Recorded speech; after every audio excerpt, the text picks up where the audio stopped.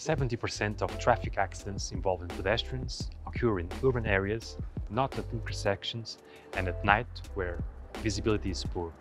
That is why it's extremely important to review the visibility conditions in schools and other potential sensitive areas. We are here today in the city of Arouca, where we have implemented our sustainable smart crosswalk solution. The sensors identify pedestrians and the ground lighting, signal lights and street lighting are activated, ensuring perfect visibility to the vehicle. But OmniFlow systems, in addition from being powered by sun and wind, are also intelligent and they are prepared to provide traffic information, pedestrian counting and even vehicle classification using artificial intelligence. In the future, this information can be actively used to stop the vehicles in case of an emergency.